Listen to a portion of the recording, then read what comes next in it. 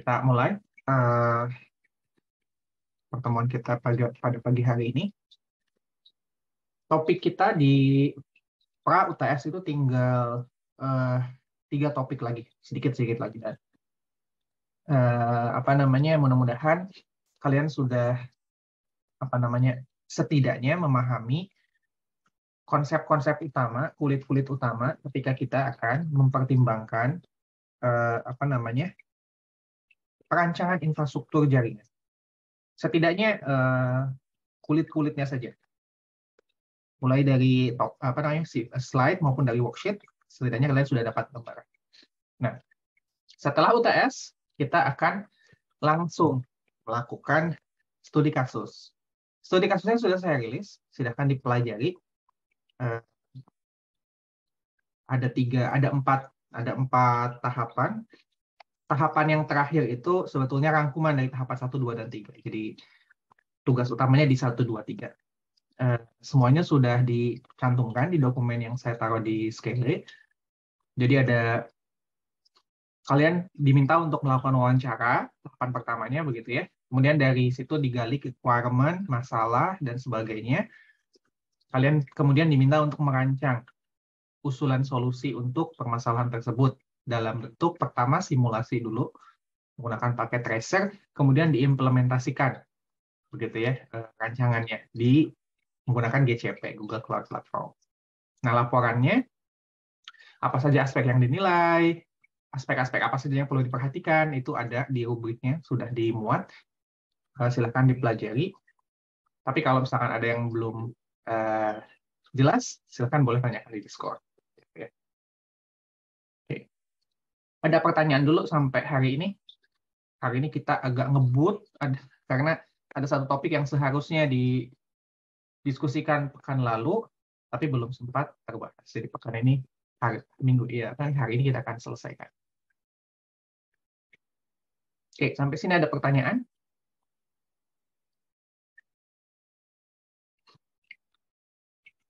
Tidak ada, kita lanjut ya. Nah, uh, di worksheet 5 itu seharusnya yang sudah dipelajari di kelas pekan lalu itu kan sampai NAT aja ya, NAT ya, DHCP dan NAT. Setelahnya itu ada routing, proses routing. Uh, kayaknya nggak terlalu di nggak terlalu ditanyakan secara mendalam juga di worksheet 5 yang terakhir begitu ya, maka uh, kita akan bahas pada kesempatan kali ini.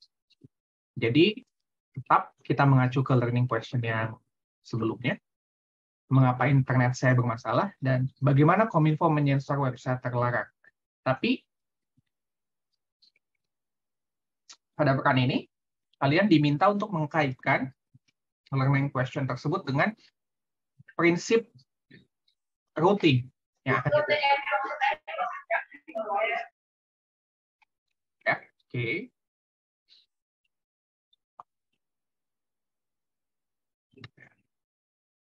Yang pertama, topik pertama adalah routing protocols.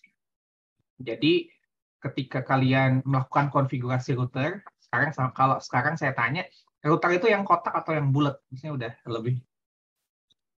Yang bulat atau yang kotak? Router itu. Yang bulat, Pak. Yang bulat ya. Seharusnya sekarang udah nggak ketukar lagi. Nah, router itu punya apa bisa kita konfigurasi dengan beberapa algoritma untuk menentukan rute, untuk menghitung rute. Ada beberapa algoritma ya, tapi nggak dibahas semua lah di sini. Yang akan kita bahas adalah algoritma yang paling populer dan paling banyak digunakan. Nah, mungkin waktu worksheet 5 udah sempat mendengar istilah OSPF. Open Shortest Path First, OSPF. Nah, itu adalah algoritma yang kita pelajari. Algoritma itu termasuk ke dalam algoritma yang berbasis link state.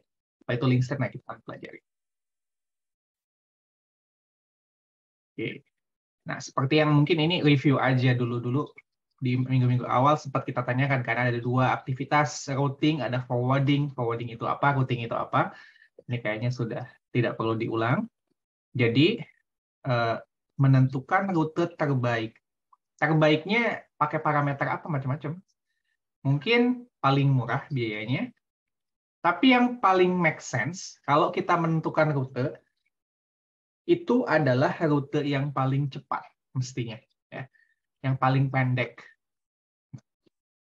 Di dalam prinsip uh, routing protokol yang akan kita pelajari, kita akan mempelajari algoritma yang goalnya memang untuk mencari rute yang paling cepat dan paling murah untuk sebuah paket dikirimkan dari satu node ke node yang lain. Gitu.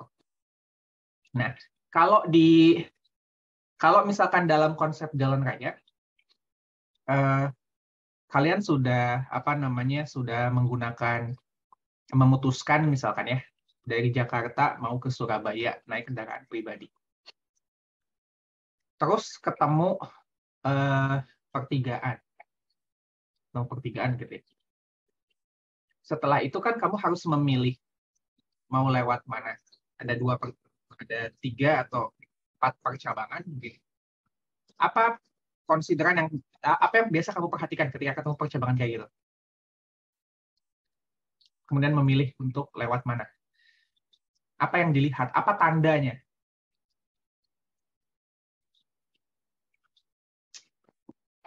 Biasanya kayak gimana tuh? Kalau kalian nyetir atau naik motor. Ketemu pertigaan, tahu dari mana kamu harus belok kanan. Nggak lurus.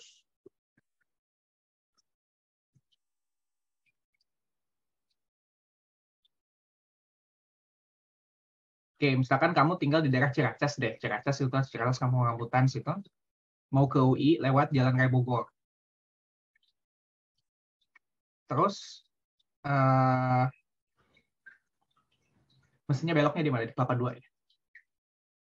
Tahu dari mana? Ketika nyampe di pertigaan Kelapa Dua, itu kamu harus belok ke kanan dan bukannya lurus. Asumsikan kalian itu pertama kali gitu. Dari rumah, dari daerah Ciracas, kampung rambutan situ mau ke arah kampus. Di pertigaan Kelapa Dua tuh kamu mestinya belok kanan. Ya. Tahu dari mana tuh? Kamu harus belok kanan ketimbang lurus. Kenapa bukan lurus? Ke arah ke arah apa Cimanggis misalnya. Biasanya kalian melihat apa? Apa yang dijadikan pertimbangan?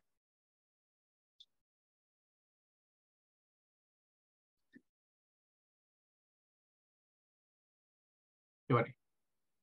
Ya kira-kira ketika ketemu penunjuk jalan. Oke, ya penunjuk jalan.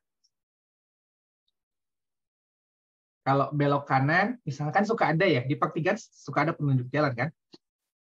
Lurus Bogor. Kalau di udah lama saya nggak tahu pertigaan Kelapa Dua, tapi mestinya sih di pertigaan Kelapa Dua tuh ada penunjuk jalan, mestinya tulisannya kayaknya lurus tuh Bogor mungkin ya, lurus Bogor, terus ke arah sini kampus UI Depok misalkan. Misalkan ada kayak gitu.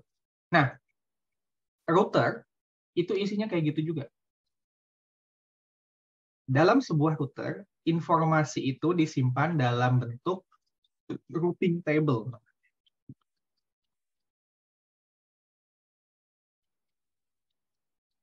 Kayaknya di worksheet 5 sempat diulas ya sedikit. Routing table itu kira-kira fungsinya sama seperti penanda jalan. Sama seperti penanda jalan. Kalau kalau ke eh, apa namanya kalau jalur nomor satu nanti ke Jakarta, jalur nomor 2 nanti ke Depok, jalur nomor 3 ke Bandung. Informasi itu dicatat di dalam sebuah rute yang dinamakan dengan routing table. Nah, maka bagaimana routing table ini terbentuk? Routing table ini terbentuk ketika kalian mengkonfigurasi routernya dengan algoritma routing protokol tertentu. Nah, jadi setiap kali proses uh, pembentukan rute dan sebagainya, itu semua akan disimpan dalam bentuk tabel. Tabel yang berisi kira-kira kalau rute ini akan mengarah ke jalan mana dan seterusnya. Ini kayaknya di worksheet 5 memang nggak terlalu di ini tapi muncul kan kalau nggak salah eh, kalian diminta untuk mempelajari mengobservasi bagaimana routing table terbentuk gitu Nah, parameternya dan permasalahan routing ini sama seperti problem-problem yang biasanya muncul di uh, penjadwalan ataupun penyusunan algoritma masih menjadi top 10 problem yang belum di, uh, belum diketahui solusi terbaik. Jadi yang bisa kita lakukan adalah yang mendekati terbaik. Kita langsung ke dalam algoritma yang akan kita pelajari. Link state. Jadi, sebagaimana kita merepresentasikan uh, rute apa pun, mau rute map Google Map begitu ya, mau rutenya routing, sama-sama bisa kita representasikan dalam bentuk graph. Ada node dan ada edge. Node itu merepresentasikan point atau tempat, atau dalam uh, jaringan berarti router begitu ya. Dan edge adalah link-nya. Biasanya edge itu atau link itu merepresentasikan biaya yang dibutuhkan kalau melewati jalan tersebut. Biaya bisa berarti macam-macam ya, bisa berarti kemacetan, bisa berarti tarif yang harus dibayar, bisa berarti durasi tingkat bagus atau tidaknya jalan, apa pun itu, tapi bisa kita representasikan dengan nilai yang ada pada edge. Contoh di sini misalkan ada 6 node U, V, W, X, Y, Z, kemudian masing-masing punya link atau edge antara satu dengan yang lain. Maka dalam jaringan, node itu adalah router, dan edge itu adalah link. Gitu ya, biaya yang dibutuhkan. Ini pelan-pelan.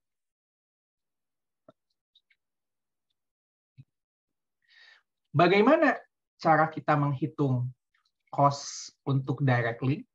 Biasanya kita representasikan dengan uh, apa namanya simbol C. Ya, jadi cost direct link adalah nilai dari satu total atau akumulasi link yang dilewati ketika dia harus berpindah dari satu poin ke poin lain. Satu poin ke poin yang lain. Bisa nilainya fix begitu kan? Misalkan CWZ nilainya 5, betul ya? CWZ baiknya yang ini. Z ini. CWZ nilainya 5. Bisa juga berapa lagi? CWZ nilainya.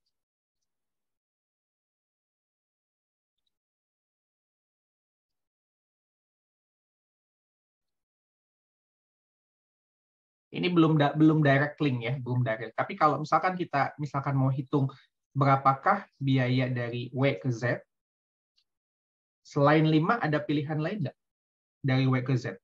Dan berapa biayanya? Bisa tiga. Nah, tapi masalahnya kalau misalkan uh, dalam perspektif routing protokol, yang kita lakukan adalah memang untuk mencari biaya yang paling kecil. Jadi tidak melulu tidak melulu harus direct link. Hanya saja dalam inisiasi sebuah routing protokol kita perlu memahami ada yang namanya direct link. Mengapa? Karena pada saat inisialisasi proses pencarian rute yang kita tahu itu cuma tetangga kita aja. Tetangga langsung. Jadi kalau saat ini kita berada di W, maka seharusnya yang kita tahu secara langsung hanya rute dari kita ke Z, dari kita ke Y, dari kita ke X, dari kita ke V, atau dari kita ke U. Oh, kalau W di tengah-tengah, jadi tahu semua. Dengan demikian, yang tidak direct link, yang tidak berhubungan secara langsung, nggak sebelahan, nggak tetanggaan, itu sering dinotasikan sebagai tak hingga. CUZ CUZ di, di uh, apa namanya direpresentasikan dengan tahingga mengapa? Karena U tidak direct neighbor dengan Z. Gitu. Ada yang tahu kenapa kenapa di yang untuk uh, biaya node yang tidak sebelahan direpresentasikan dengan tak hingga untuk pertama untuk pada saat inisialisasi pertama kali. Mengapa direpresentasikan dengan tak hingga?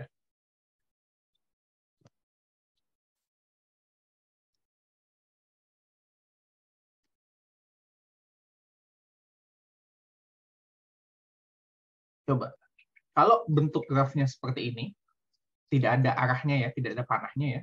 Dari U ke Z itu bisa muter-muter aja. U, W, U, W, Y, X, W, terus sejauh X, Y, W, dan seterusnya baru ke Z. Makanya dibilang tak hingga. Karena bisa muter-muter. Yang namanya biaya itu bisa muter. Kalau kita ngitung rute, kan bisa aja muter-muter. Kan? Nggak nyampe-nyampe ibaratnya gitu. Itu tetap rute dari U ke Z.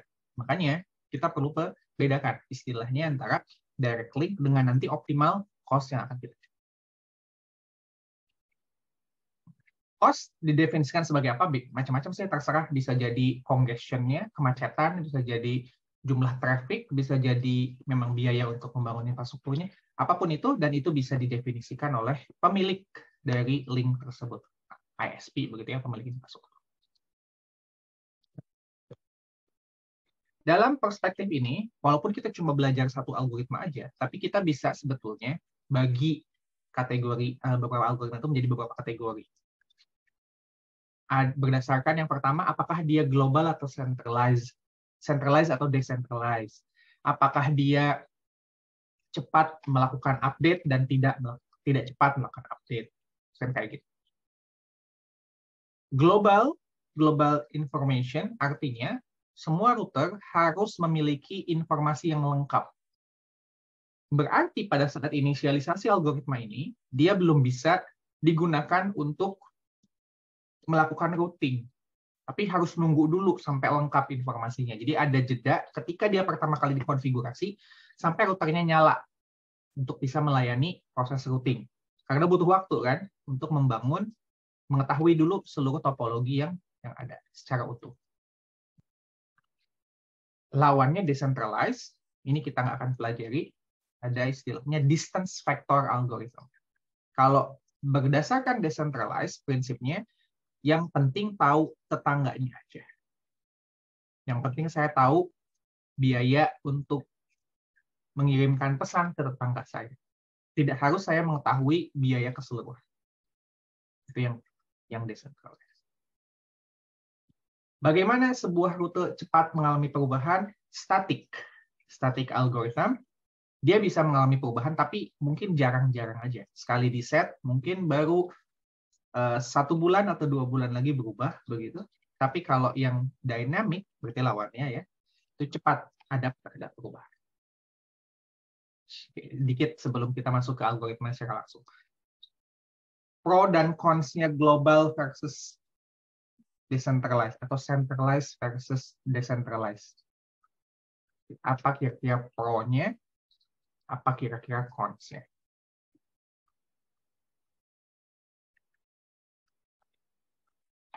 harus baca ini dulu. Ini aja pakai common sense aja kira-kira. Kalau saya punya prinsip, saya harus uh, mengetahui dulu semuanya sebelum saya memutuskan sesuatu, mengerjakan sesuatu, versus ya udah kerjain dulu aja. Saya tahu sedikit, ya kerjain dulu nanti. Sambil ongoing, saya akan mengetahui yang lebih luas. Kira-kira pro-nya apa, cons-nya apa.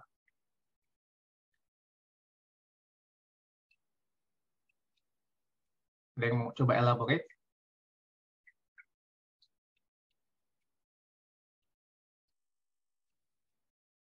Global versus decentralized. Atau centralized versus decentralized. Kira-kira apa ya pro-nya, apa cons-nya? Pendekatan global versus pendekatan decentralized.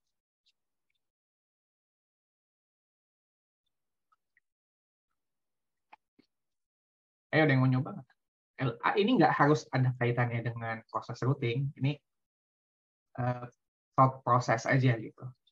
Global versus decentralized itu kayak gimana? Yang mau coba?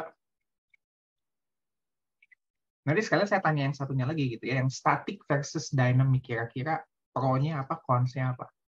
Kalau yang static itu namanya juga static ya, jarang berubah, tapi kalau dynamic, oh pasti diupdate terus-terusan, periodically gitu silakan antara dua itu tuh. Global versus centralized atau static versus dynamic. Ada yang mau nyoba agak? Pro-nya apa konsep apa?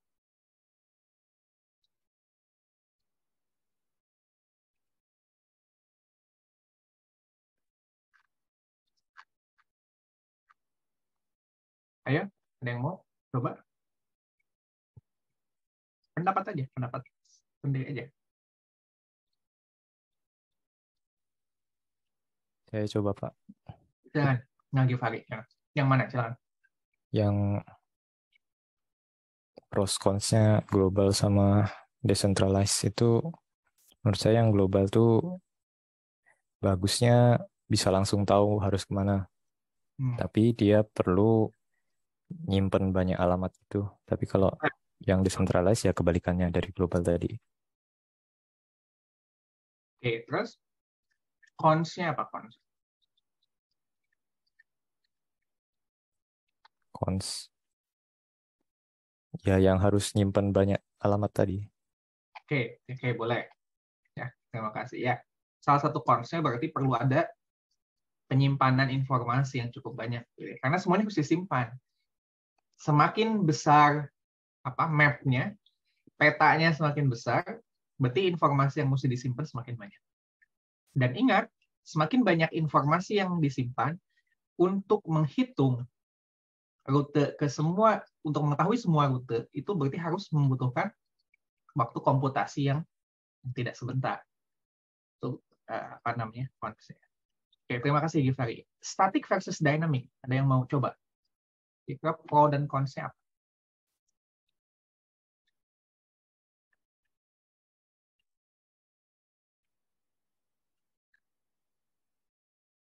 Kalau static, karena routes change slowly over time. Rutenya pelan-pelan aja berubahnya.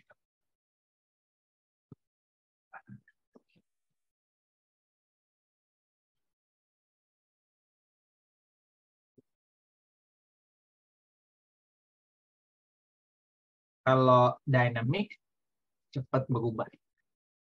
Lebih tepatnya update ya proses update-nya itu lebih sering. Kalau statik mestinya sih jarang diupdate. Kira-kira apa pro-nya, apa cons-nya? Algoritma yang kayak gitu.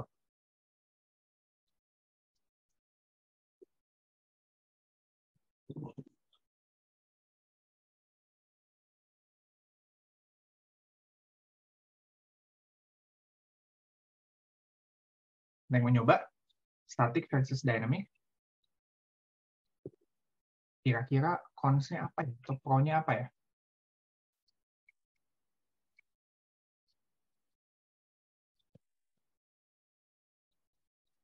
Ada yang mau nyoba? Coba dipikirin ya. Nanti uh, kita tanya lagi. Nah, kita mau masuk ke uh, pembahasan algoritma OSPF yang berbasis link state yang akan kita gunakan. Nah, algoritma link state ini berbasis Dijkstra. Pernah ketemu uh, ini di di apa di SDA mungkin ya. Saya nggak tahu di SDA, mungkin di mana lagi pernah ketemu istilah ini. Nah, ini prinsip eh, OSPF itu menggunakan prinsip yang sama. Oke, jadi dia bersifat centralized, artinya seluruh informasi mengenai topologi, link cost, artinya set dari node maupun edge-nya itu harus lengkap dan harus dimiliki oleh semua node. Semua node harus memiliki informasi itu.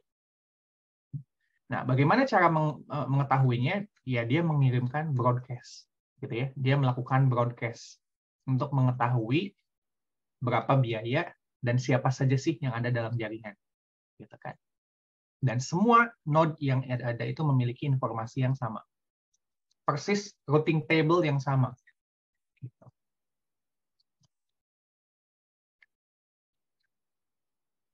Oke. Prosesnya dilakukan secara iteratif, nanti kita langsung praktekkan iteratifnya kayak gimana. Dan selama proses itu berlangsung, berarti routernya belum bisa, selama routing table-nya belum terbentuk, berarti routingnya belum bisa digunakan untuk memforward dia paket yang nyampe ke situ. Belum connect gitu artinya.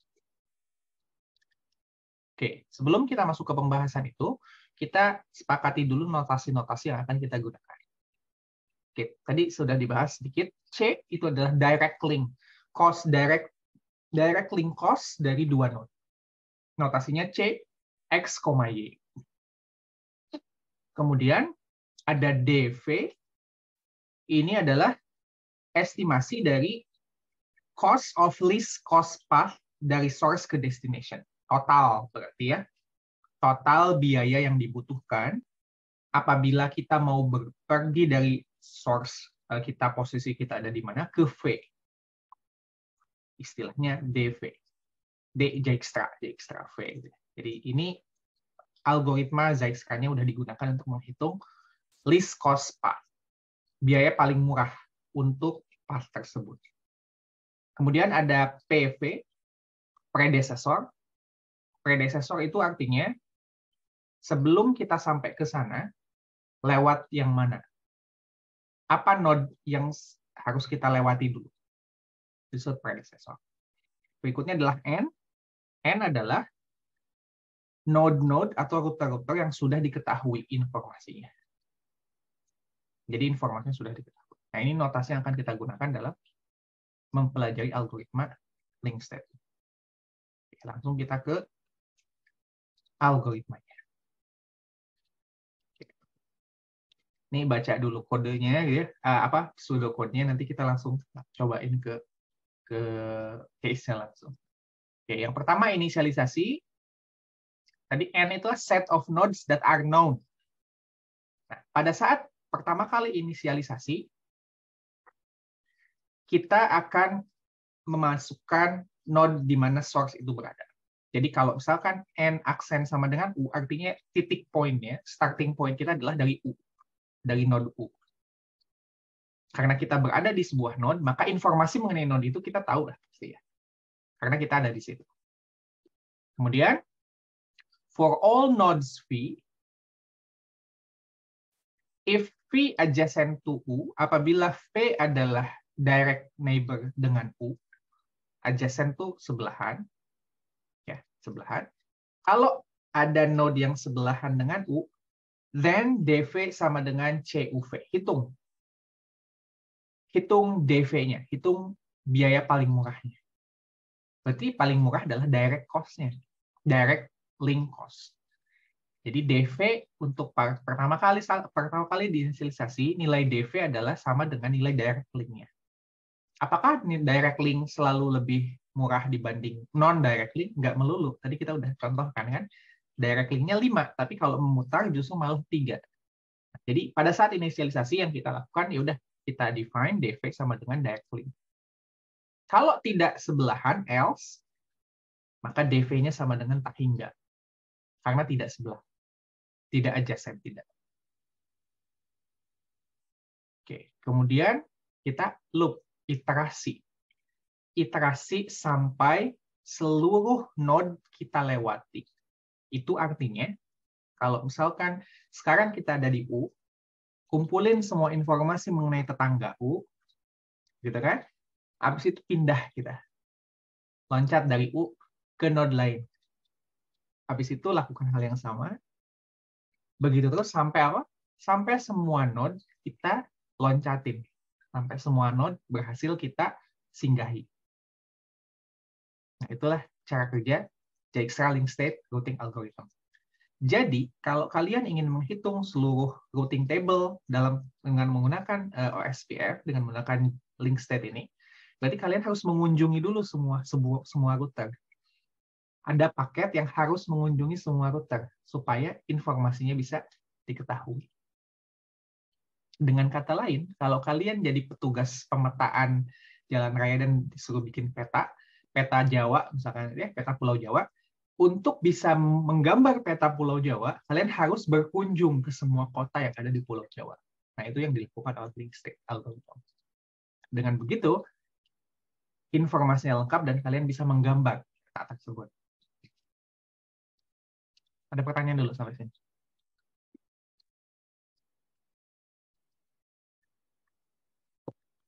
Oke, ini nggak susah-susah kok. Asal latihan aja. Oke. Nah, loopingnya kayak gimana? Loopingnya cari W yang tidak ada di N sehingga DW minimum. Jadi, setelah kita ada di U, kita akan loncat ke node berikutnya. Node mana yang harus kita pilih? Nah, ini. node yang tidak ada di n aksen sehingga DW-nya minimum. Dengan kata lain, kita harus mengunjungi node berikutnya yang paling dekat. Ya, node berikutnya yang paling dekat, atau bukan dekat, paling murah. Jadi, kalau tetangga U ada tiga, kita pilih dari tiga itu mana yang paling dekat, yang paling murah dari U. Dah, kita pindah ke situ. Update the add, add W to an accent update DV for all V adjacent to W and not in an accent. Lakukan hal yang sama. Lakukan hal yang sama, hitung lagi DV-nya. Dan seterusnya berulang sampai semua node dikunjung. Ini algoritma. Algoritma eh, Dijkstra link state routing algorithm. Oke, kita langsung latihan. Nah, notasinya kayak gini mestinya nih. Pada saat step 0, kita berada di U. Makanya U sudah masuk ke dalam N aksen. Selain U, ada V, ada W, ada X, ada Y. Kan? Ada V, ada W, ada X, ada Y. Oke, kita ikuti algoritma tadi. For all, jika jika ada node yang tetanggaan langsung dengan U, hitung C apa direct link cost-nya. Kalau tidak sebelahan, kan nilainya tak hingga. Gitu kan? Oke, kita mulai. Step 0. N aksen nilainya U. V, kita cek. Apakah V tetangga langsung dari U? Kan ini kolomnya ada V. V. Apakah V tetangga langsung dari U?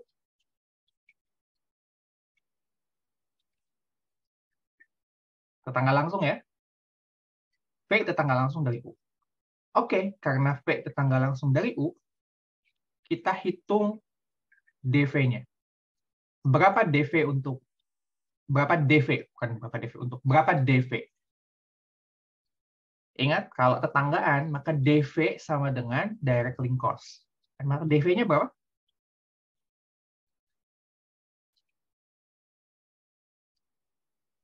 DV-nya berapa? Pada saat step 0, DV berapa?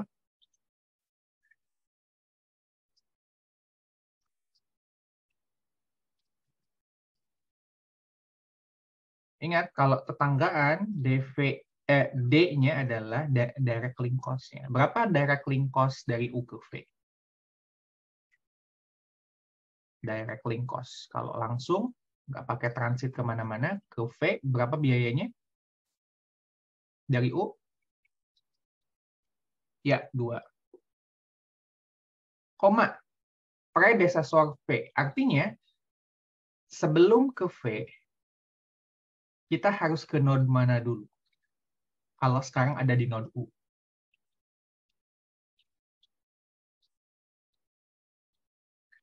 Yep,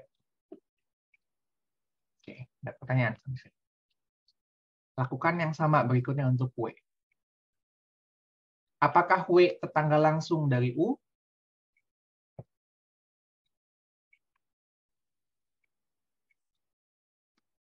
W tetangga langsung dari U bukan?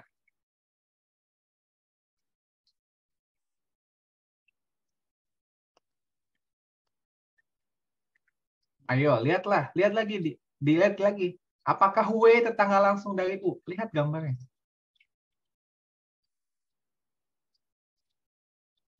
W tetangga langsung dari U bukan? Tetangga langsung. Lihat ada rute ke atas. Tetangga langsung. Ya, karena tetangga langsung, maka DW adalah berapa DW-nya? Yep, DW-nya adalah 5. Berapa PW-nya? Predesesor ke W.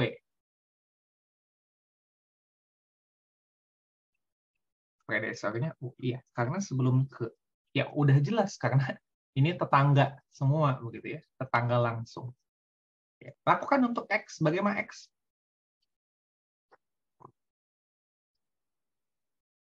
kolom baris ke 0 untuk kolom x dx nilainya apa px nilainya apa ya 1u Dari mana? Direct link cost dari U ke X, 1. Dan predesesornya adalah U, karena dia tetangga langsung. Oke, good. Y sekarang. Bagaimana dengan kolom Y? Berapa DY-nya? Berapa PY?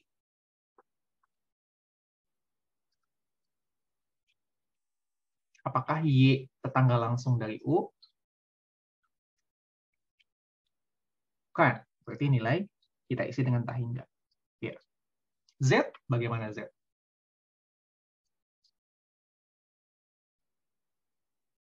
Kolom Z kita isi dengan nilai apa?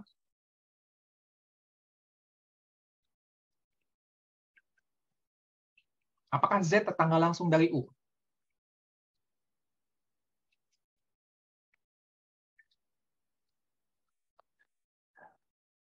Z bukan juga ya. Z bukan tetangga langsung dari. Jadi isiannya sama dengan Y. Oke, ada pertanyaan sampai sini? Yuk. Ini udah jelas nih ya. Kalau ada topik kayak gini, ini udah harus diwaspadai keluar di UAS eh, apa di UTS atau di kuis gitu. Ya. Oke, 2U, 5U, 1U, tahingga tahingga. Betul Ada pertanyaan?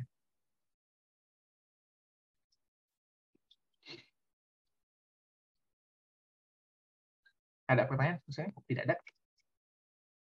Oke, kalau tidak dilanjutkan, algoritmanya tadi bilang apa? Setelah iterasi pertama, setelah iterasi pertama, pilih node yang paling dekat. Dekat biayanya kan. Tambahkan dia ke n aksen mana node yang mau kita pilih setelah dari U?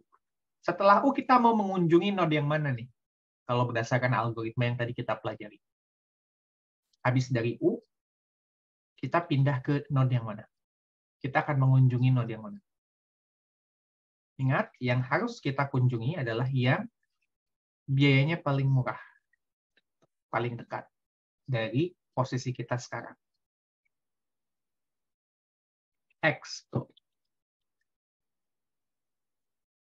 Akan pilih X, maka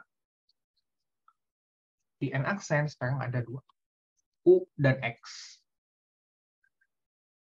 Lakukan. Sekarang kita ada di X. Sekarang kita ada di X. Isi kolom-kolom tersebut dengan nilai yang sama. Kalau misalkan nilainya ada yang lebih murah, kita update. Tapi kalau tidak ada yang lebih murah, tidak perlu diupdate. Oke. P sekarang. Nah, N aksen itu adalah rute yang fix. Berarti bacanya begini sekarang. V itu, DV itu adalah biaya kalau kita mau ke V lewat jalurnya adalah U dan X. Itu untuk step 1. Kalau dari U X mau ke V, berapa biayanya dan berapa predecessor. Bacanya gitu sekarang, karena X sudah masuk ke dalam N aksen.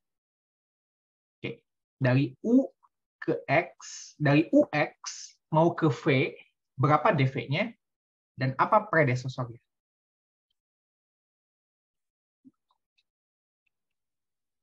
UX, kemudian ke V. Berapa DV-nya? Berarti sekarang UXV gitu. UXV berapa? UXV nilainya berapa? UXV 3. Padahal isian sebelumnya itu udah lebih kecil, 2. Berarti itu tidak perlu diupdate. Tidak perlu diupdate. Kenapa? Karena UXV nilainya 3 dan 3 lebih besar dibanding nilai dia sebelumnya. Jadi tidak perlu diupdate. Isiannya sama persis dengan isian di step 0.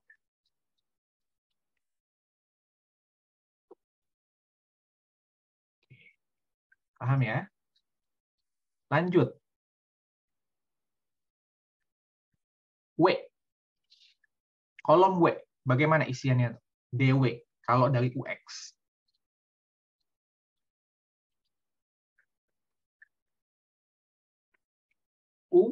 X, W. Berarti segitu baca sekarang ya.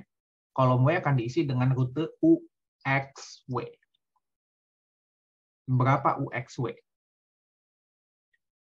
Perlu diupdate. Betul, karena nilainya lebih sedikit, lebih kecil dibanding nilai sebelumnya. Maka diupdate. Awalnya 5 jadi 4. Predesesornya? Predesesornya X. Jadi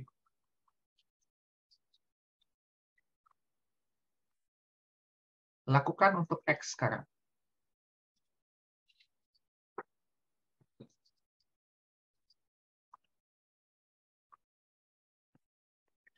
UX udah ada di situ X-nya. Bagaimana isian di kolom X?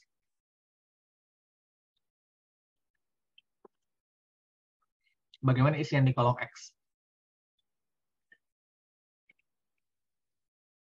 Ya.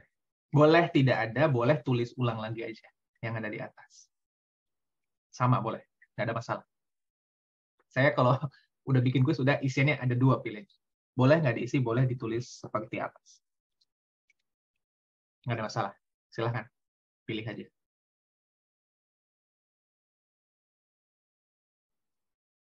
Y sekarang. Bagaimana dengan Y? Apakah sekarang Y masih tahingga atau sudah ada nilainya?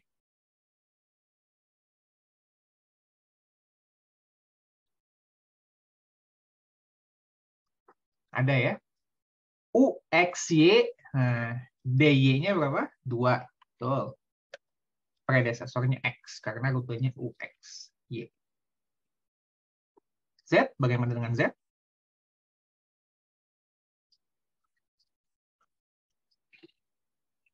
Kolom yang Z gimana? Masih tak enggak.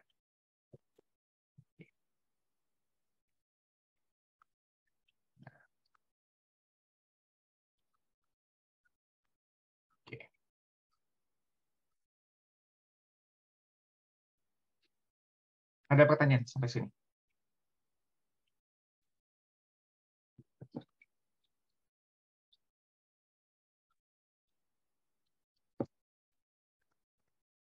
Oke ya. Lanjut sekarang berarti. Tahapan kedua, step dua atau baris ketiga. Nah, maka fix nih. Dari sini kita bisa tahu bahwa rute terdekat setelah U itu mestinya ke X. Mau ke mana pun, mau ke mana pun mesti lewat X ya. Mau ke V, kecuali ke V. Kalau ke V, kalau ke V, uh, nggak harus. Tapi belum tahu nih, apakah ada yang lebih murah atau enggak. Tapi kayaknya enggak. Kalau ke W, ke X. Kalau ke Y, ke X. Jadi kasih panah tuh ya. Lanjut, berarti sekarang kita akan mengunjungi node yang mana nih setelah dari X. Habis dari U ke X, habis dari X kita ke mana?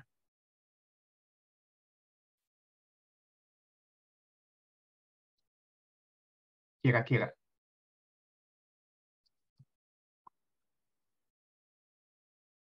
Habis dari U, eh, habis dari X, gitu ya, U ke X, kita ke mana sebaiknya? Ada dua. Bisa ke mana? Bisa ke V, bisa ke Y. Gitu ya. Nggak ada masalah, bebas. Bisa ke Y, bisa ke V. Hasil akhirnya nanti sama hasil akhirnya nanti sama. Oke. Anggap aja kita pilih aja satu. Mau ke mana? Kita pilih ke V aja anggap ya. Pilih satu. Kan sama-sama dua tuh ya. Berarti habis ini kita pindah ke V. U, X, V. Oke, kalau UXV, oh, oke ini konsensusnya kalau di slide ini, kalau udah masuk ke dalam N aksen, nggak diisi kolomnya. Oke, ya udah, ada masalah. UXV, berarti untuk kolom V bisa kita kosongkan kan ya, karena itu sekarang ada di V sekarang. UXV. W, bagaimana dengan W? UXV ke W sekarang. Perlu di-update atau tidak perlu? Apakah UXVW lebih murah dibanding nilai sebelumnya? atau lebih mahal justru. Bagaimana dengan W?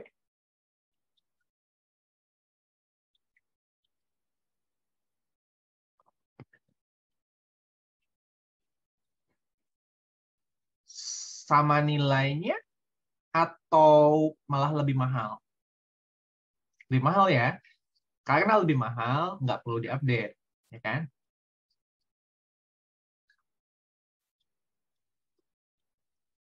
Nggak usah diupdate. Karena ternyata rute kalau UXVW itu lebih mahal. Jadi nggak usah lewat V kalau mau ke W. Bahasanya gitu kan. Interpretasi. X bagaimana? Kosongin aja, karena X sudah ada di dalam N aksen. Kalau kalau mau diisi sama-sama seperti atas juga nggak apa-apa, sama aja. Saya biasanya ngasih kuncinya, boleh ngisi kayak gitu. Y, bagaimana dengan Y?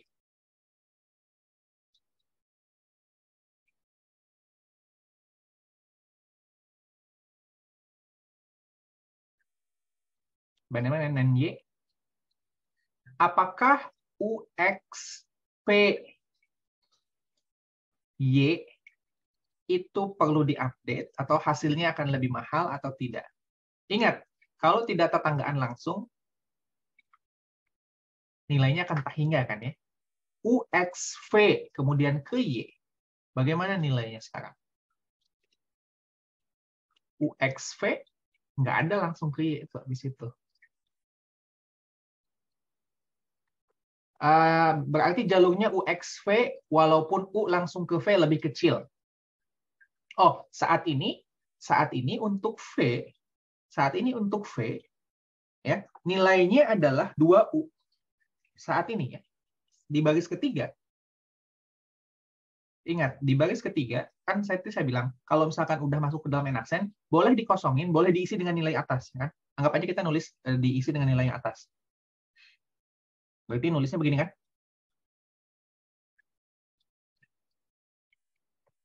Gitu ya ditulisnya kan.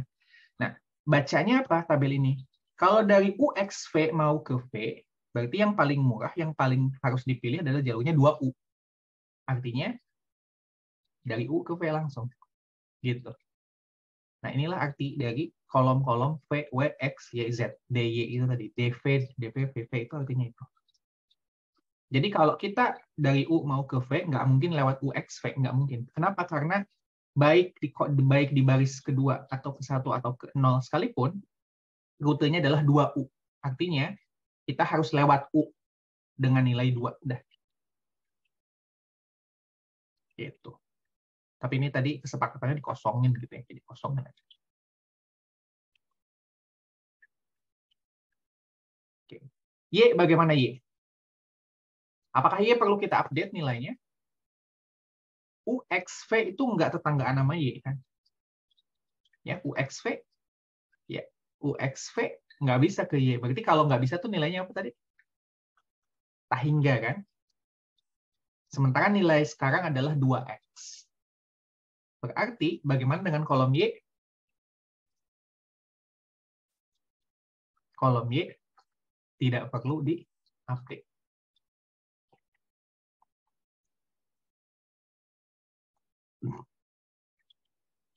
Bagaimana kolom Z? Bagaimana kolom Z sekarang? Apakah nilainya masih tak hingga atau enggak? UXV, apakah UXV tetanggaan dengan Z?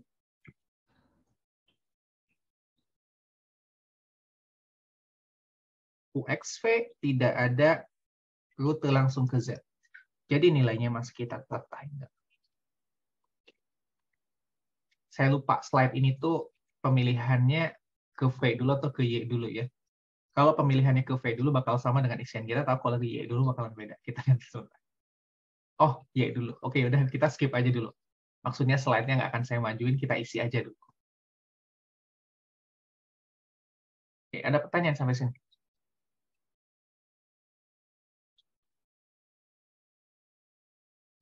Ada pertanyaan? Kalau tidak ada, lanjut ke algoritma berikutnya, kita memilih. Pilihannya kan sekarang antara W, Y, atau Z yang belum masuk. Jelas ya, kita harus memilih Y, karena Y nilainya lebih kecil, 2. Jadi sekarang U, X, P, Y. Ini kosongin sama seperti tadi, kosongin. Kosongin atau samain dengan yang di atas. Kosongin juga. Atau sama dengan di atas. Y kosongin juga. Atau sama dengan yang di atas. Sama 2X juga gitu ya. Karena sekarang Y masuk ke dalam N aksen. Cuma dua yang perlu kita isi. Kolom W dan kolom Z. Bagaimana kolom W? U, X, V, Y, ke W. Apakah perlu diupdate nilainya 4X atau tidak perlu diupdate?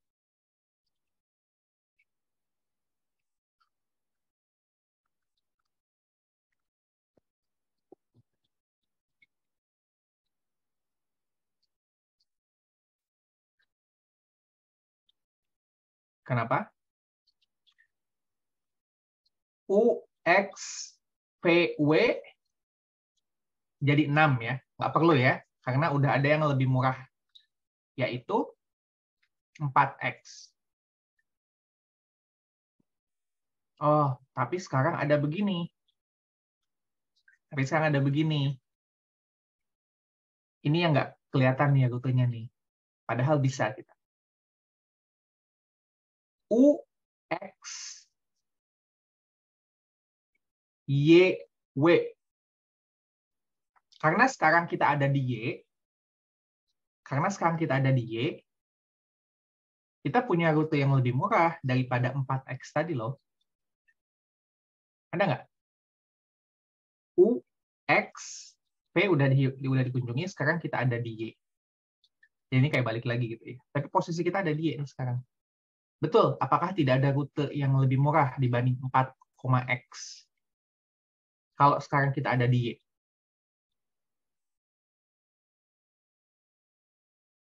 Ada ya, lebih murah. 3Y, betul. Karena sekarang kita ada di Y, dan kita tahu kalau ke Y itu, kalau ke Y itu nilainya 3, eh, nilainya 3, nilainya 2, gitu ya, nilainya 2 ke Y itu, kan ada ya, tuh 2X tuh ya, 2. Terus ada direct langsung dari Y ke W, nilainya 1, berarti 3, dan itu lebih murah, begitu. 3Y. Bagaimana dengan Z sekarang? Sekarang kita udah ada di Y. Dan kita sekarang persis tetanggaan dengan Z. Tidak tahinya lagi ya, sekarang ada nilainya. Oh, tetangga. Tetangganya Y itu Z. Nanti kita bisa isi. Karena nilainya lebih kecil daripada tahingga. Gitu kan? Berapa? Kolom Z nilainya sekarang? Ya, 4 Y.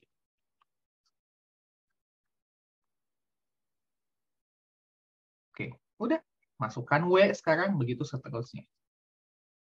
X, P, Y, W. Kosong, kosong, kosong, kosong. Ke Z perlu diupdate nggak kalau lewat W? Kalau kita sekarang ada di W, dan mau ke Z, perlu diupdate nilainya atau tidak?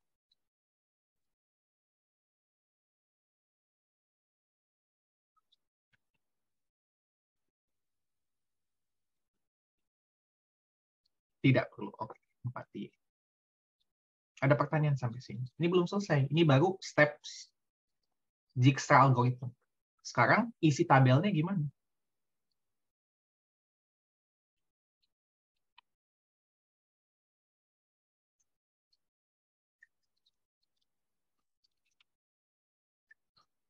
Tabel di U. Kalau mau ke V, kalau mau ke W, kalau mau ke X, kalau mau ke Y, kalau mau ke Z. Kurang lebih kayak gitu. Dari U, kalau mau ke V, lewat mana? Sini kolomnya di situ. Ini simple aja. Kalau dari U mau ke V, kita harus lewat berdasarkan informasi ini nih ya. Nah, kan ini yang akan diambil kan. Informasi ini nih yang kita masukkan ke dalam routing table. Kalau dari U mau ke V, maka predesesornya U atau langsung V. Kalau dari U mau ke W, Berarti kita harus lewat Y. Atau mungkin lebih lengkapnya, U uh, yang nilainya 3 mungkin tabelnya nggak kayak gitu. Yang nilainya 2 itu apa? X ya, sorry. Eh, W itu nilainya 3. Dari mana 3 itu? Uh, U, X, Y, W. Gitu ya. Itu kurang lebih bacanya. Aduh, ini gimana yang isinya ya?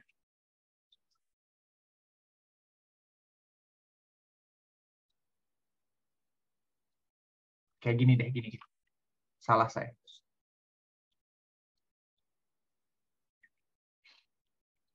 Tabel di U, kalau mau ke V, kalau mau ke V, kita langsung aja. V. Mestinya gitu. Karena kalau di U itu kan rutenya cuma dua. Kalau nggak ke V, ke X. Kalau mau ke W, kita harus lewat mana? Kalau mau ke W, lewat V atau lewat X? Si rute ini. 3, Y ini tuh lewat V atau lewat X?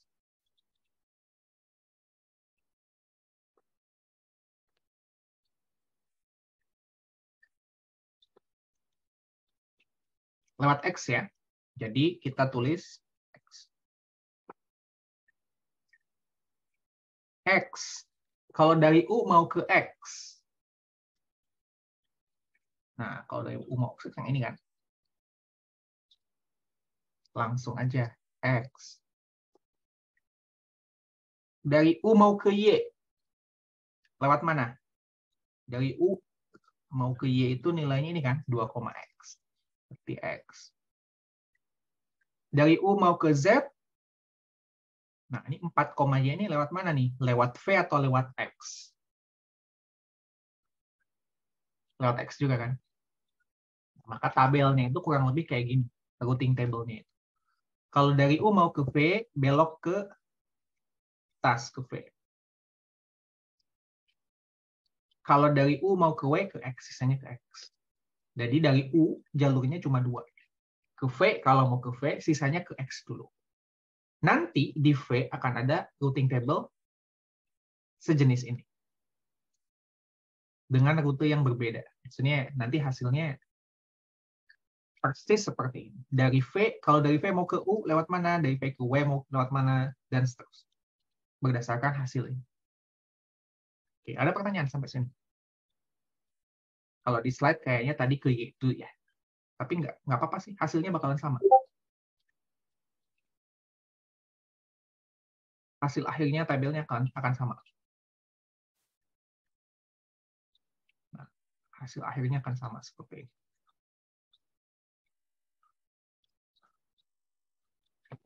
Dari sini dibangun routing table seperti ini.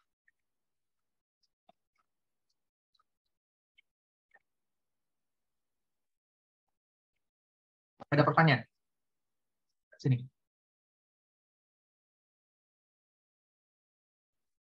Silakan kalau ada yang masih bingung. Ini sederhana aja cuma begitu. Eh, apa namanya? DV beda, uh, distance vector itu beda lagi, tapi kayaknya nggak akan kita bahas. Link state aja satu. Cukup. Oke, sampai sini ada pertanyaan. 40 eh, menit terakhir kita akan bahas topik berikutnya.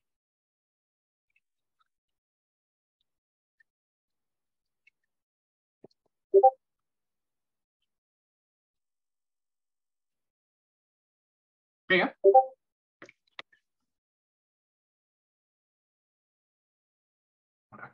Output ini, inilah yang disimpan di dalam router tabel ini.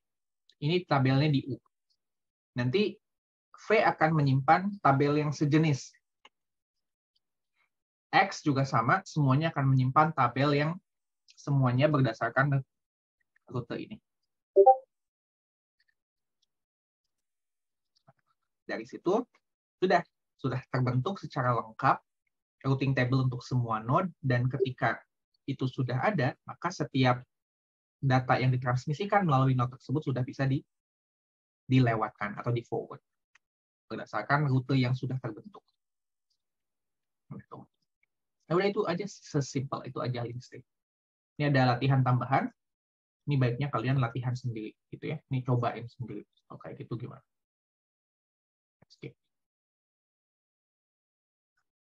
Ini discussion-nya saya skip. Ini discussion uh, mengenai link state yang tadi. Saya skip karena kita mau pindah ke sini. Ada pertanyaan sampai sini?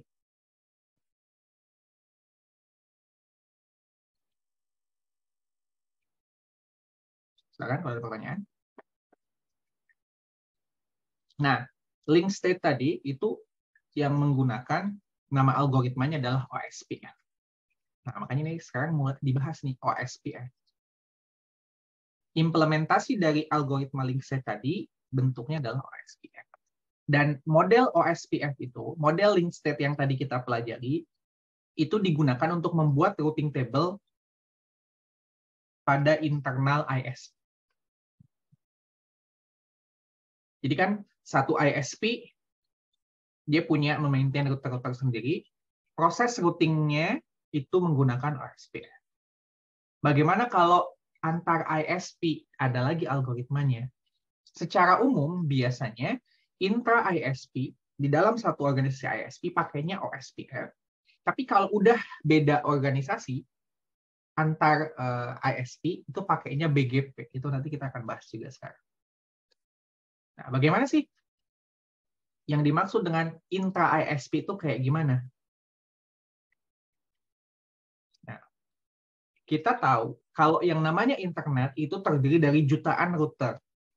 Maka kalau tadi kalian bayangkan proses pembuatan routing table kayak tadi itu secara global langsung global itu artinya semua router yang ada di internet kita bikin routingnya gitu ya tidak tidak seperti itu jadi skupnya biasanya dalam skup satu ISP yang paling kecil. Misalkan ISP-nya IndiHome. Ya udah, IndiHome akan membuat apa namanya routing table untuk router-router punyanya IndiHome aja. Ketika nanti harus pindah ke router punya orang lain, pakai mekanisme yang berbeda. Kurang lebih kayak gitu. Atur apa namanya mekanismenya. Nah, satu satu ISP itu sering juga disebut sebagai satu administratif uh, otonomi administratif atau AS istilahnya. Jadi satu AS, autonomous system, kepanjangannya autonomous system. Jadi biasanya satu ISP merepresentasikan satu autonomous system. Dan intra autonomous system itu menggunakan OSPF. Jadi kan ada banyak ISP, ada ISP, ISP, ISP, ISP satu autonomous system, autonomous system, autonomous system. Setiap autonomous system bikin routing sendiri. Nah, nanti ada mekanisme lain bagaimana kalau harus melakukan routing antar autonomous system. Kurang lebih idenya begitu. Sehingga approach-nya scalable. Karena kalau kita mau hitung pakai Dijkstra link state algorithm untuk semua router yang ada di internet itu nggak akan nggak akan bisa begitu scalable. Oke, nah itu kira-kira. Nah, intra AS pakai OSPF yang persis sama caranya dengan yang tadi kita pelajari, Jigs Extra. Biasanya modelnya seperti ini. Nah, ini adalah rute yang ada mungkin ada di internet seperti itu. Yang dalam satu island warna biru itu satu autonomous system. Tapi pastikan router pada sebuah ISP itu terkoneksi dengan router pada ISP yang lain. Nah, maka kalau dalam konteks ini OSPF hanya digunakan di sini aja. Mekanisme ke sininya beda. Di sini pakai OSPF, tapi ketika ke sini beda. Di sininya OSPF, di internalnya OSPF, tapi kalau udah pindah bukan OSPF. Ini yang disebut sebagai interconnected access. Ya, kan internet begitu ya antara ASP dengan ASP lain pasti saling ter terhubung. Ini menggunakan OSPF biasanya. OSPF paling lazim. Lainnya ada namanya RIP. RIP versi 2 atau GRIP ada banyak sekali sebetulnya algoritmanya dan setiap AS bebas mau memilih algoritma apa pun. Yang mau digunakan bebas, nggak ada nggak ada masalah. Nah, nanti topik kedua yang akan dibahas adalah kalau setiap uh, internal ISP ini sudah melakukan routing, bagaimana cara dia melakukan routing ke ISP yang lain. Itu mekanisme yang kedua, topik yang kedua, disebut sebagai inter-AS routing. Oke. Nah, jadi, routing table atau forwarding table, biasanya istilahnya routing table, tapi disebut juga, ini merujuk ke tabel yang sama ya. Forwarding table sama routing table itu istilah yang merujuk ke, ke tabel yang sama. Nah, routing table atau forwarding table yang ada dalam sebuah router itu akan dihitung berdasarkan dua pendekatan. Berdasarkan pendekatan intra-AS yang tadi, dan juga inter-AS. Dan juga inter-AS. Jadi dua hal. Dua-duanya akan dicakup. Begitu. Oke, ini kita ada uh, contoh begitu ya. Kalau sudah melakukan apa namanya interkoneksi dengan autonomous system yang lain, jadi bagaimana yang terjadi dalam sebuah router itu begitu ya. Oke. Misalkan katanya nih, router di AS1 menerima sebuah paket atau datagram, tapi yang ditujukan ke router lain. Ke router destination itu lokasinya tidak di AS1, tapi di AS yang lain. Misalkan di sini ya, di 1A. Oke. Nah, maka pertama kali datagram itu di apa namanya dikirim, yang harus dilakukan oleh AS1 adalah dia harus kirim ke gateway. Ingat gateway waktu kemarin kan, gateway tempat keluar kan, keluar. Kalau dalam perspektif subnet, gateway adalah router terdekat karena setelah itu dia harus keluar dari router tersebut.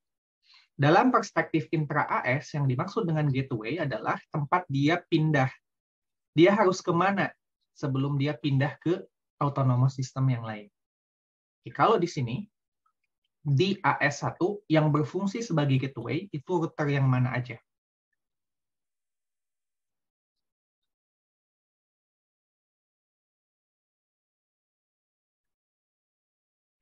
AS1 diperhatikan AS1 yang berfungsi sebagai gateway, tempat dia keluar, gitu ya, pindah autonomous system, itu router nomor berapa saja?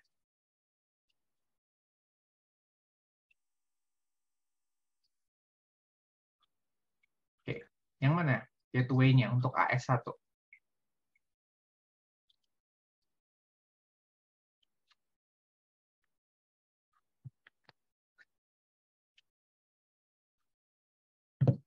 Ayo AS1 nih, gateway-nya atau tempat dia keluar, keluar dari ke, keluar ke mana? Keluar.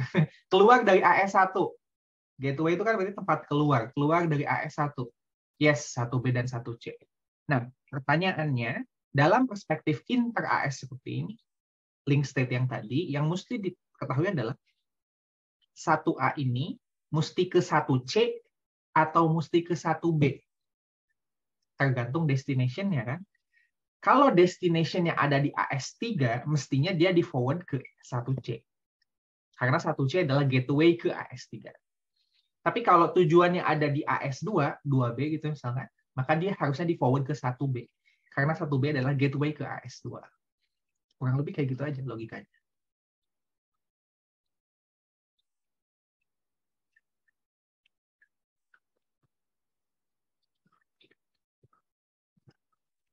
Ada pertanyaan? Eh, kalau ada pertanyaan, pertanyaan aja.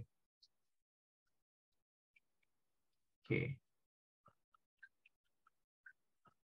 Ini tadi udah saya bahas. Intra AS itu biasanya pakai RIP atau EIGRP, tapi yang paling lebih lazim lagi itu OSPF. Gitu ya. OSPF. Paling umum digunakan.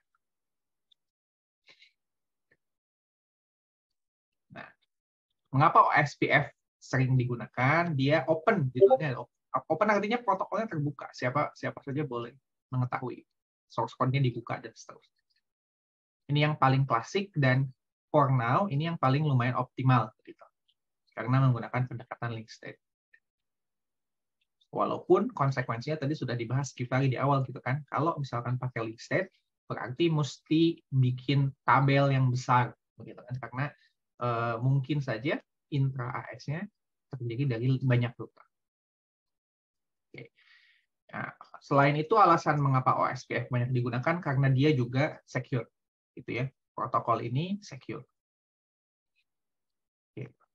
Nah, OSPF ini itu juga biasanya digunakan secara hierarkis. Jadi kalau misalkan OSPF ini digunakan secara hierarkis, mekanismenya persis dilakukan hal yang sama, tapi bertingkat. Karena biasanya kan ada ISP, ISP kecil, ISP besar itu punya ISP regional yang lebih kecil. Berarti kan hitungannya masih satu ISP ya. Misalkan Telkom, Telkom regional, saya nggak tahu, tapi pokoknya dari regional kan Pulau Jawa, regional Bali, regional Sulawesi. Semuanya adalah Telkom, satu autonomous system. Tapi mestinya router di Jawa itu manajemennya sendiri, router di Sumatera manajemennya sendiri, router di Kalimantan manajemennya sendiri, begitu kan? Maka menggunakan skema hierarkis kayak gitu. Ya. Ada lokal, ada backbone. Sebetulnya mekanismenya nggak jauh beda, hanya saja sekarang dibagi jadi hierarki. Ada dua hierarki. Karena ada hierarki seperti ini, bagaimana keterkoneksian antara begitu ya lokal yang di levelnya regional dengan sistem secara keseluruhan. Perhatikan gambar ini. Bagaimanapun juga dalam sistem ini akan ada satu router yang dia menjadi member di regional maupun yang pusat. Ya kan? Ketika proses routing terjadi di regional, router ini udah masuk hitungan. Tapi ketika proses routingnya dilakukan secara nasional, kan segini gitu ya, si router ini tetap ikutan juga. Ya. Oleh karena itu, jadi proses routingnya tetap bisa dilakukan dan tetap terkoneksi karena si router ini ikut dia dalam pembuatan routing table untuk regional maupun pembuatan routing table untuk yang nasional. Jadi tetap tetap bisa berjalan. Tapi ini bukan gateway. Kenapa bukan gateway? Karena masih ada dalam satu autonomous system. Kalau gateway-nya yang mana? Kalau di gambar ini. Yang yang berfungsi sebagai jadi si router yang ini yang disebut sebagai area border router itu mirip dengan gateway tapi bukan gateway sebetulnya. Kalau di gambar ini yang gateway-nya yang mana? Empat keluar gitu ke AS yang lain. Nah, ini ya. Router yang ini router ya. Jadi gateway. Oh, dia mau keluar ke internet atau ke autonomous system yang lain. Ada pertanyaan sampai sini?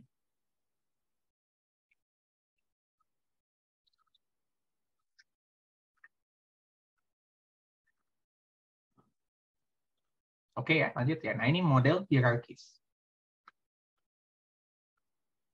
Oke. Nah, ini istilah-istilahnya. Sekarang yang akan kita bahas, topik terakhir adalah bagaimana kalau misalkan skenario ini sudah berjalan. Nah, ada interkoneksi dari satu AS ke AS yang lain. Kalau intra AS pakainya OSPF.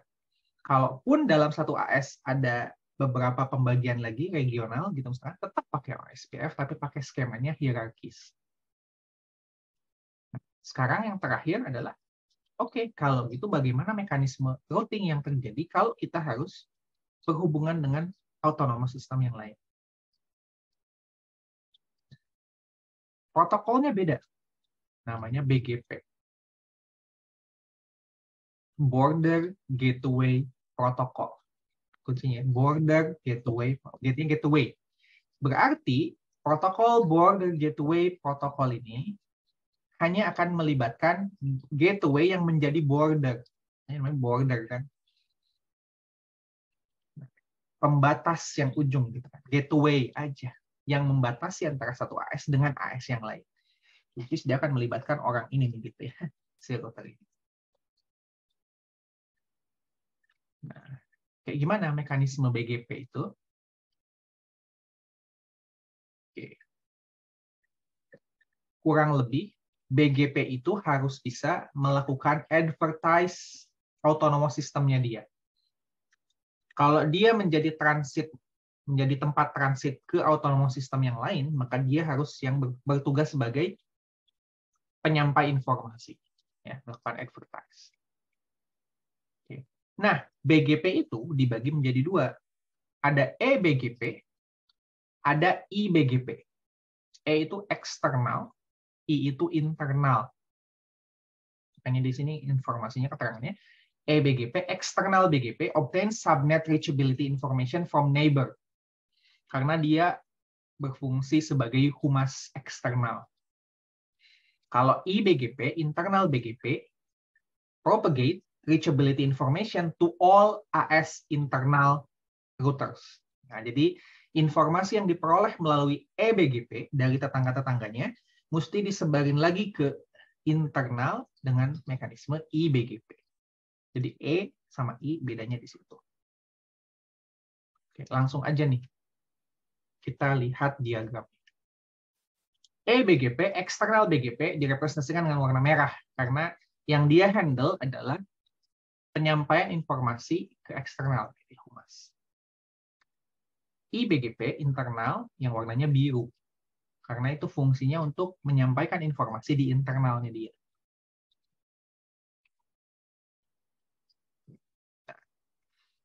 Siapa saja yang terlibat begitu ya dalam dalam protokol BGP ini? Ya tadi border gateway protocol, router-router yang menjadi gateway. Di AS1 yang menjadi gateway-nya adalah 1C. Di AS2 yang jadi yang jadi gateway-nya 2A dan 2C di AS3 yang jadi gateway-nya 3A. Nah, router-router itulah yang akan yang harus juga dikonfigurasi dengan BGP. Di router yang lain gimana nggak perlu. 2B, 2D cukup dikonfigurasi dengan OSPF saja. Kalau misalkan intra AS-nya pakai OSPF. Tapi ketika kalian konfigurasi 2A, maka dua harus dikonfigurasi OSPF juga, BGP juga. Kayak gitu. Teknisnya begitu harus di harus dilakukan konfigurasi seperti itu. Oke, kita lihat ilustrasinya bagaimana protokol BGP bekerja. Ada namanya BGP session. Ini melibatkan exchange BGP message over semi-permanent TCP connection antara dua BGP routers. Jadi antara 1C atau 2A atau 2C dengan 3A. Apa yang di kirimkan. Nah, ini advertising path to different destination network. Jadi, ya kita lihat ilustrasinya. Misalkan nih, AS3 gateway itu 3A ya, si 3A.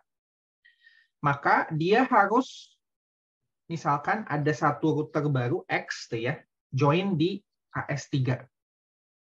Kan awalnya cuma 4 ya, 3A, 3B, 3C, 3D. Terus ada join router baru, router X. Nah, maka kewajiban 3A untuk mengadvertise informasi itu ke AS2. Dia mengirimkan informasi, eh kalau kamu ada paket yang ditujukan ke X, boleh dikirim ke saya. Kurang lebih AS3,X itu isinya begitu, pesan. Jadi kalau kamu ada datagram yang ditujukan ke X, silahkan kirim ke sini.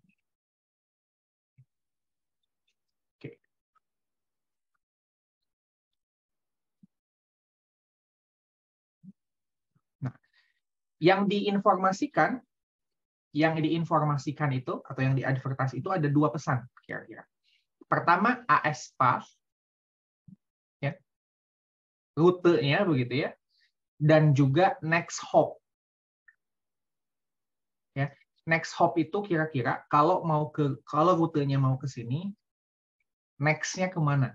Atau kalau di link state tadi kita bahas ada predecessor. Gitu ya. Jadi kalau mau ke ke suatu tujuan, kita harus lewat ke situ dulu. Itu kurang lebih isi dari message yang di advertise. Uh, yang menarik dalam BGP tidak seperti OSPF yang OSPF itu protokolnya fair ya. Artinya goalnya tuh clear. Tadi apa? Open, shortest path first. Jadi clear.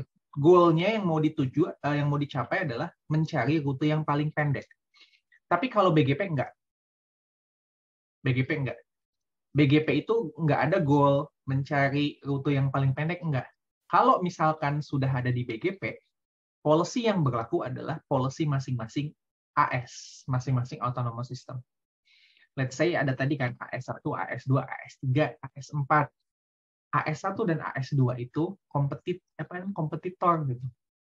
Jadi dia tidak mau nge-advertise rutenya AS2.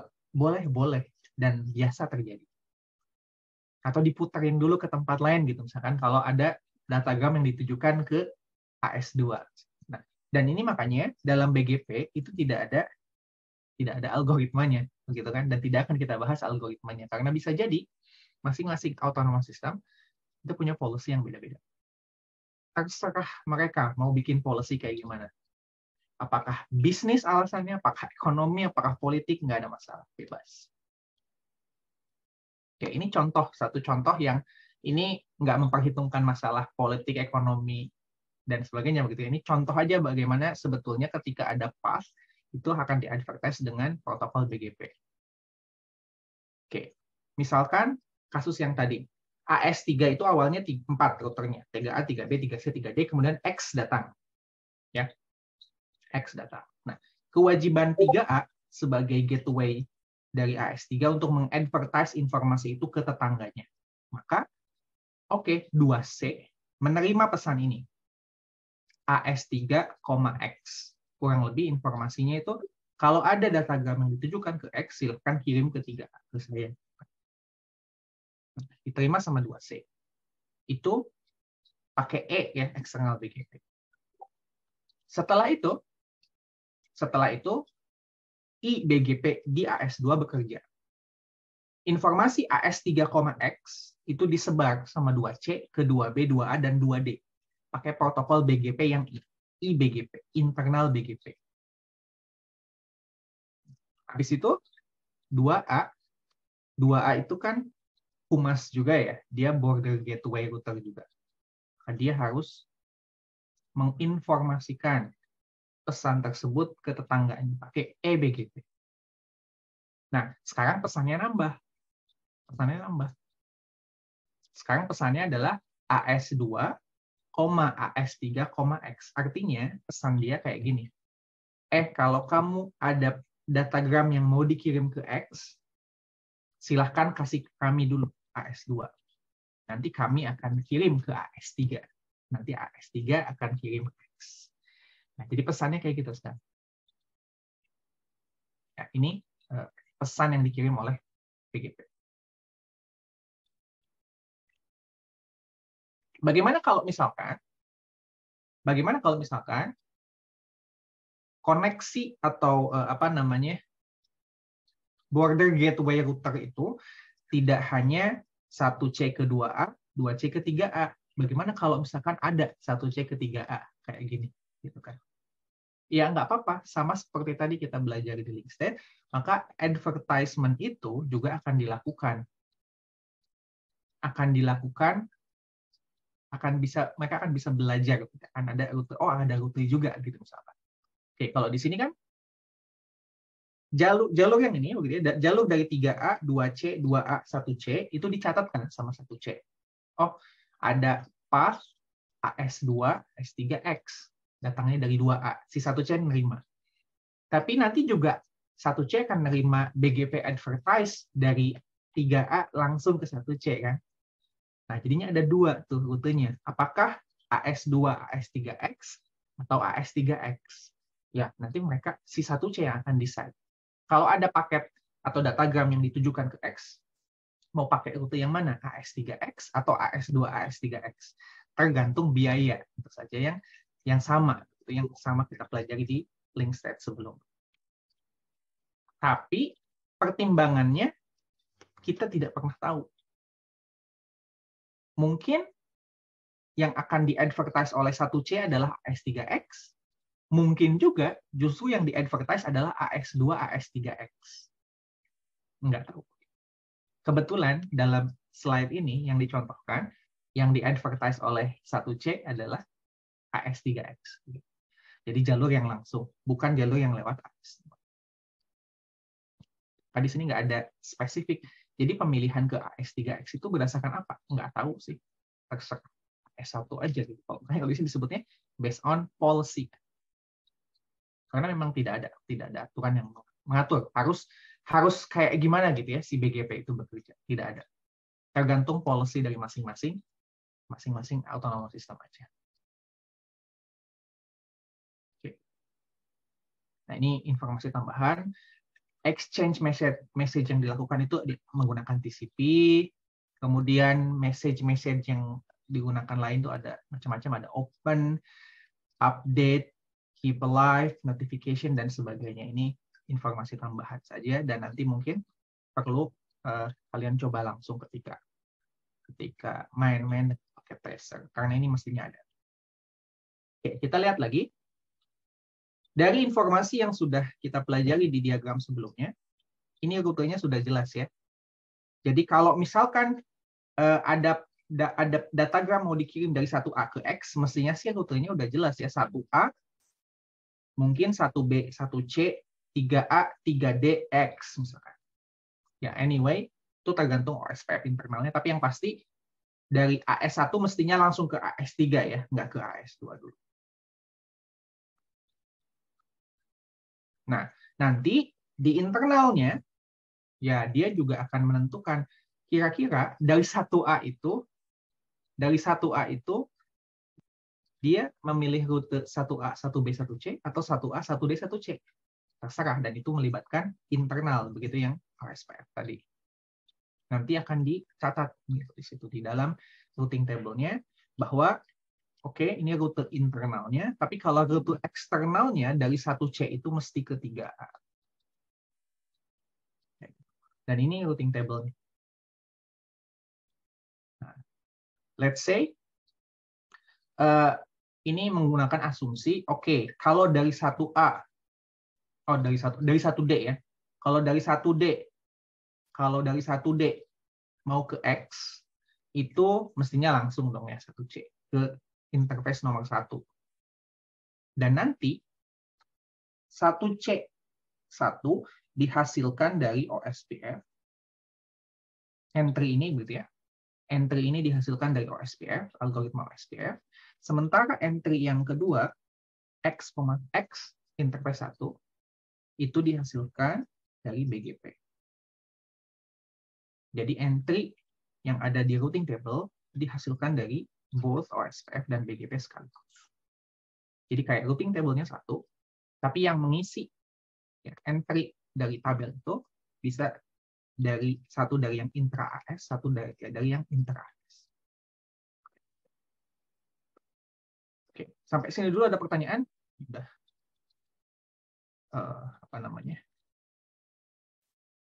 Lumayan banyak yang kita bahas. Sama, ya di semua router sekarang akan menyimpan informasi routing table yang diperoleh dari OSPF dan juga dari BGP. Jadi, routing table yang dihasilkan oleh OSPF dengan routing table yang dihasilkan oleh BGP itu adalah satu routing table yang sama, bukan dua routing table. Dalam satu router itu routing table-nya cuma satu, tapi diisi oleh lebih dari satu algoritma nggak dua gitu deh. Tapi cuma satu. Poinnya di sini ada pertanyaan sampai sini? Tentunya tinggal 10 menit lagi nih. Saya mungkin stop dulu di sini. Ini biar nggak terlalu banyak. Saya stop dulu 10 menit. Saya kasih waktu kalau mau nanya-nanya. Mungkin belum. Kan kok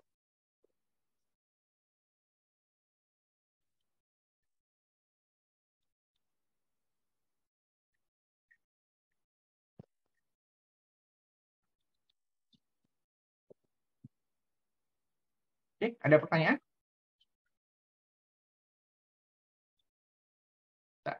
Pelan-pelan dulu. Kalau ada yang belum make sense begitu penjelasan tadi.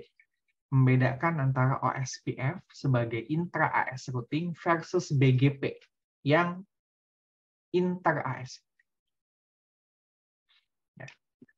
Kalau yang dibahas di awal link state itu adalah merepresentasikan OSPF, kalau BGP nggak ada algoritmanya. Ya. BGP itu nggak ada algoritmanya karena BGP itu berdasarkan policy yang bebas terserah yang mengimplementasikan terserah autonomous sistemnya gitu ya mau mengimplementasikan BGP-nya kayak gimana menghindari autonomous system tertentu kah atau bagaimana kan itu terserah makanya nggak ada algoritma oke ada pertanyaan sini 7 menit lagi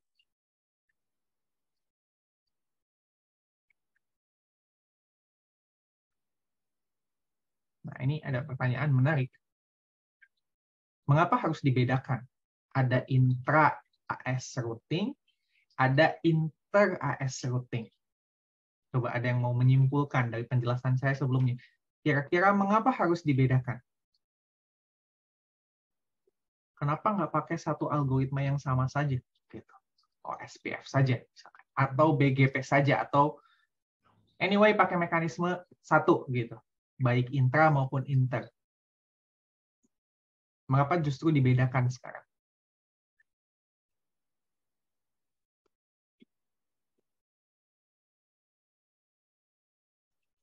Ada yang mau coba? Ini kenapa nih?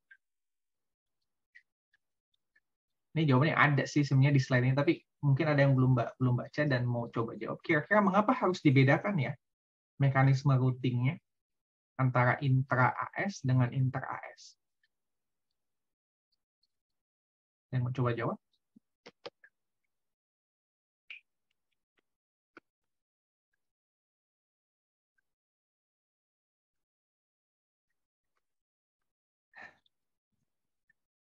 Oke, kita buka deh, 5 menit lagi.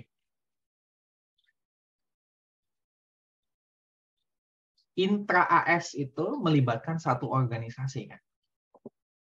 Jadi kalau kalian bekerja melayani member dalam organisasi kalian, pasti yang menjadi oh ada ada sorry saya nggak lihat chatnya tadi.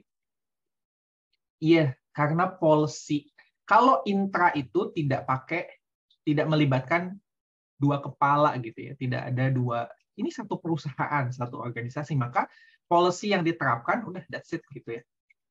Nggak akan jadi masalah gitu. Langsung aja ini aturannya begini di perusahaan kami. Begitu. Tapi kalau inter, karena dia harus melibatkan pihak lain, ya organisasi lain, makanya jadi repot karena masing-masing pasti punya aturan yang berbeda. Jadi dibedain gitu ya antara inter dan inter. Ya, kurang lebih kayak gitu. Alasan lainnya tadi kan sudah kita bahas kilas. Skalabilitas. Kalau pakai link state, kita harus mengunjungi semua router. Kalau satu internet jadi satu scope untuk uh, link set di, di apa namanya diterapkan, berarti kita harus mengunjungi semua router yang ada di dunia dan itu tidak mungkin begitu ya, tidak scalable. Jadi link state hanya digunakan dalam scope intra saja yang jumlah routernya masih reasonable gitu misalkan untuk dikunjungi semua. Oke. Nah, ini menarik nih. Kalau intra yang pakai OSPF tadi, goalnya jelas ya. Open shortest path. Goalnya adalah shortest path.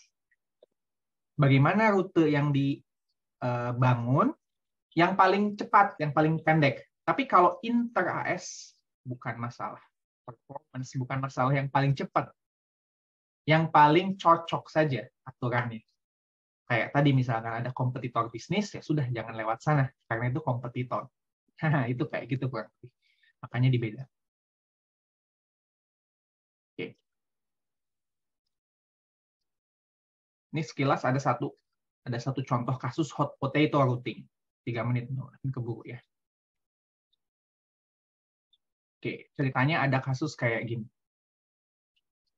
Uh, linknya sekarang udah ada udah ada cost-nya ya, cost. Cost linknya ada 201, 263, 112, dan seterusnya. Oke, kita lihat. Dari sini ada informasi bahwa 2D itu dia akan nerima dua pesan ya. Kan ingat, setiap border gateway akan mengirimkan pesan BGP. Berarti 1C dan 3A itu akan ngirim pesan masing-masing gitu ya. Ingat, tadi kan sebelumnya kita sudah tahu kalau AS3 itu ngirim pesan juga kan ke 1C kan? Ya kan? Pesannya adalah AS3,X. Ya kan? Makanya si 1C ini juga nginform lagi ke AS2 karena satu C nerima pesan AS3,X, maka satu C akan mengirim pesan ini, AS1, AS3,X ini kurang lebih rutenya ke sini gitu ya, ngeinfoin. Di sisi lain, si AS3, si AS3 juga ngirim ke 2C, AS3X rute. Itu memang begitu aja, kan muter-muter kayak gitu terus. Nah, jadi 2D ini punya dua informasi. Kalau mau ke X, dia bisa ke sini, ke sini, ke sini, ke sini, ke sini. Atau yang kedua, ke sini, ke sini, ke sini. Ada dua pilihan.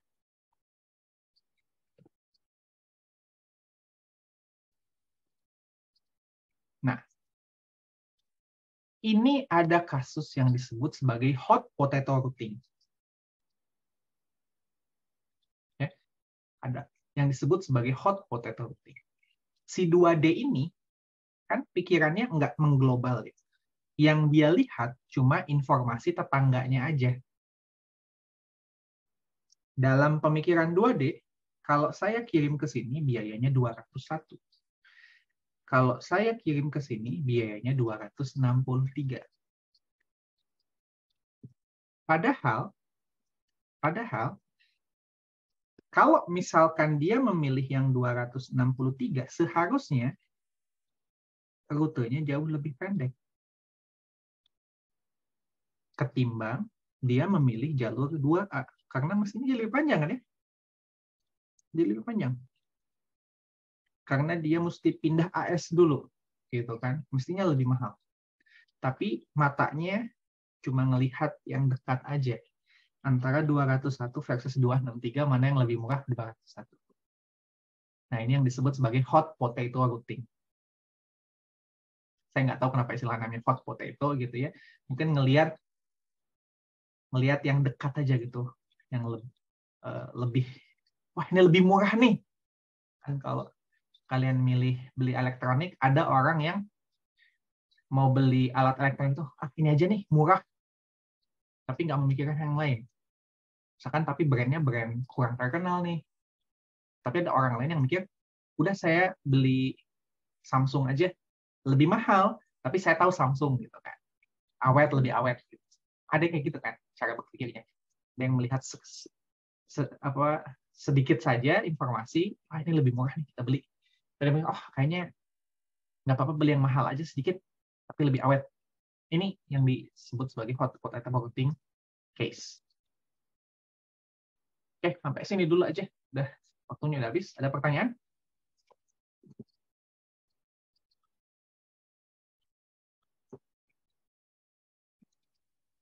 Pertanyaan?